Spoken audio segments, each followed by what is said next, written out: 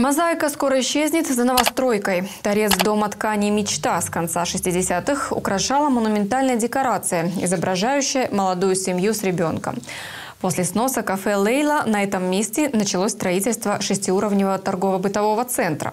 Мозаика застройщикам оказалась не нужна, но вот жители против. Ирина Вабищевич расскажет подробнее.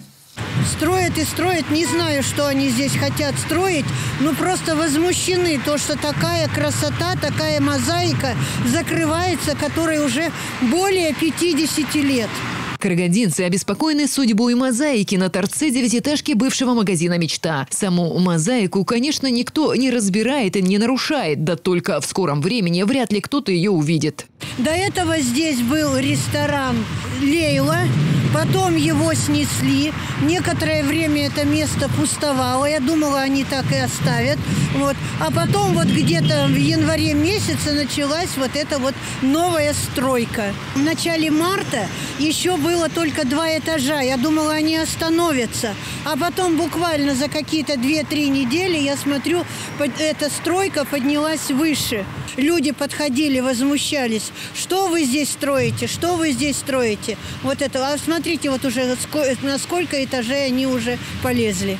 Вот так выглядела мозаика еще некоторое время назад. К началу 60-х начали вырисовываться контуры проспекта, носившего тогда имя Аппака Байжанова. К середине 60-х тут стали появляться первые девятиэтажки в Караганде, а позже некоторые из них украсили монументальной декорацией. Сейчас мужчина, женщина с ребенком и голубь срезаны зданием на две трети, а скоро и вовсе канут в лету.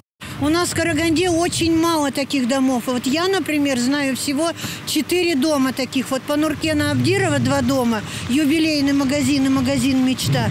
И в Пришахтинске тоже вот буквально два дома. Ну, где-то еще, может быть, по Бухар-Жирау и по Ерубаево. Вот это вот все, что можно пересчитать по пальцам. И вот такую красоту от нас закрывают.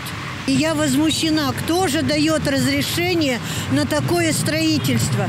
Юбилейный магазин, когда начинали строить, люди возмутились, и они прекратили строительство. Выше двух этажей не поднялись.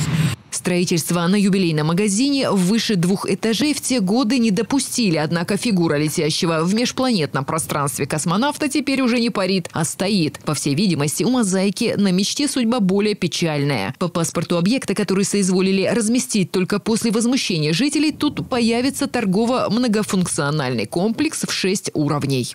Не ценится, не сохраняется, даже уничтожается. И, например, известный факт о закрытии рельефной работы знаменитого нашего художника, первого председателя Союза художников Караганды Крылова Виктора Ивановича. Эта работа была закрыта новым зданием, вот где управление внутренних дел на Ярубаева, и там рядом здание Каспийбанка, она, эта стена была закрыта. То есть она, конечно, не уничтожилась, но ее не видно.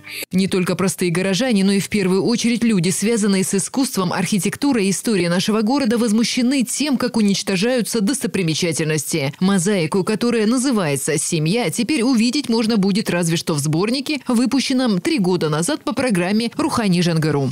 И вот эти мозаики, которые делаются на века, в принципе, это же особая технология. Это кусочки стекла, материала, из них складываются такие панно.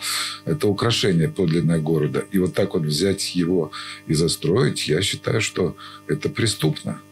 Ну, наверное, у нас есть и художник города главный, и архитектор главный города, и архитектурно-градостроительный контроль.